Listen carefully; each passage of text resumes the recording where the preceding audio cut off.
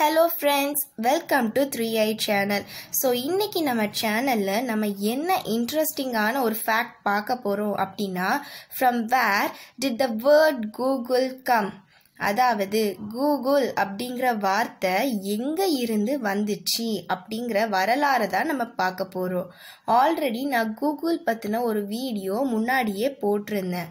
அதை பார்த்தீங்கன்னா உங்களுக்கு இது வந்து கண்டினியூஷன் மாதிரி இருக்கும். அது வந்து இன்ட்ரடக்ஷன் அதை கண்டினியூ பண்ணி தான் இந்த வீடியோ வரும். So Google is actually derive from the term googol Google அப்படிங்கிற வார்த்தை எந்த வார்த்தையிலிருந்து உருவாக்கப்பட்டது அப்படின்னா கூகால் அப்படிங்கிற ஒரு வார்த்தையிலிருந்து தான் கூகுள் அப்படிங்கிற வார்த்தையை உருவாக்கியிருக்காங்க. It is actually a mathematical term which means one followed by hundred zeros. அதாவது கூகால் அப்படின்னா நம்ம மேக்ஸில் பயன்படுத்துகிற வார்த்தை. மேக்ஸில் ஒன்றுக்கு அப்புறம் நூறு ஜீரோ நூறு சைபர் போட்டோம்னா அதை தான் நம்ம கூகால் அப்படின்னு சொல்லுவோம். அதாவது ஒன்றுக்கு அப்புறம் இத்தனை ஜீரோ போட்டோன்னா கோடி லட்சம் அப்படின்னு சொல்கிறோம்ல அந்த மாதிரி ஒன்றுக்கு அப்புறம் நூறு ஜீரோஸ் போட்டோன்னா அதை நம்ம கூகால் அப்படின்னு சொல்லுவோம். This term was invented by Milton Serota, who was nephew of American mathematician Edward Kastner. இதை யாரு கண்டுபிடிச்சாங்க அப்படின்னா மில்டான் சிரோட்டா அப்படிங்கிற ஒருத்தங்க தான் இதை கண்டுபிடிச்சாங்க மில்டான் சிரோட்டா யாருன்னு பார்த்தோன்னா அமெரிக்கன் மேத்தமேட்டிஷியன் எட்வார்ட் கேஸ்னரோட மருமகன் அதாவது நெஃப்யூ தான் இந்த Milton சிரோட்டா this term was used in book Mathematics and Imagination written by Edward Kastner and James Newman.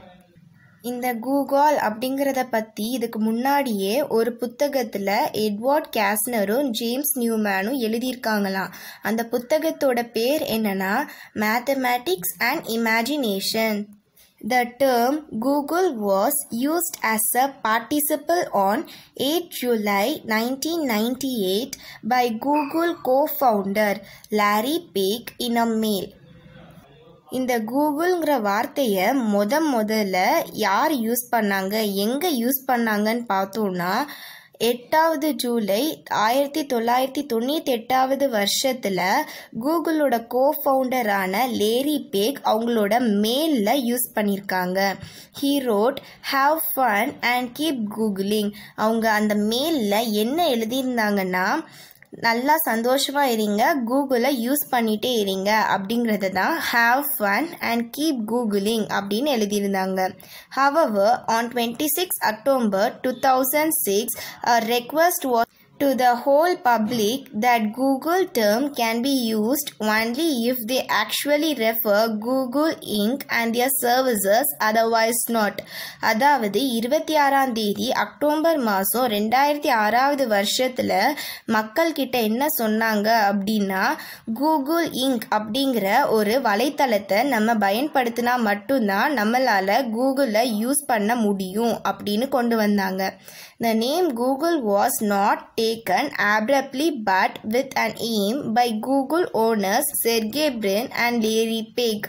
இந்த கூகுள்ங்கிற வார்த்தைக்கு ரொம்ப பெரிய அளவில் வரலாறு இல்லாட்டாலும் இந்த வார்த்தையை உபயோகப்படுத்தணும் அப்படின்னு நினச்சவங்க யாருன்னா சர்கே பிரின் அப்புறம் லேரி பேகுங்கிற ரெண்டு பேரும் தான் இதை பற்றி நான் ஆல்ரெடி இதுக்கு முந்தின வீடியோவில் சொல்லியிருப்பேன். இவங்க ரெண்டு பேரும் யார் அப்படிங்கிறத.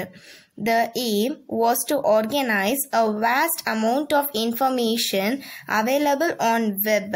கூகுளோட லட்சியம் என்னன்னா மக்களுக்கு வலைத்தளத்தில் எல்லா விதமான கேள்விகளுக்கும் பதில் கிடைக்கணும் அப்படிங்கிறத தான் அவங்க மிக முக்கியமான ஒரு லட்சியமாக வச்சுருந்தாங்க really the Google has fulfilled such aim very nicely அதே மாதிரி அவங்க நினச்ச மாதிரியே கூகுள் வந்து அதோடைய டெக்னாலஜி மூலமாக மக்களுக்கு எல்லா விதமான கேள்விகளுக்கும் பதில் அளிச்சிட்டு தான் இருக்குது அது நம்ம எல்லாருக்குமே தெரியும்.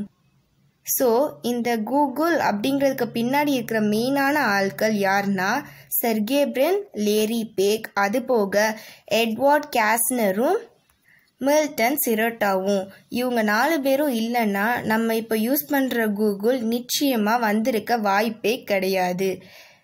இந்த வீடியோ மூலயமா நீங்கள் ஏதாச்சும் கற்றுக்கிட்டு இருப்பீங்கன்னு நான் நம்புகிறேன் தேங்க்யூ ஃபார் வாட்சிங் see in the next video bye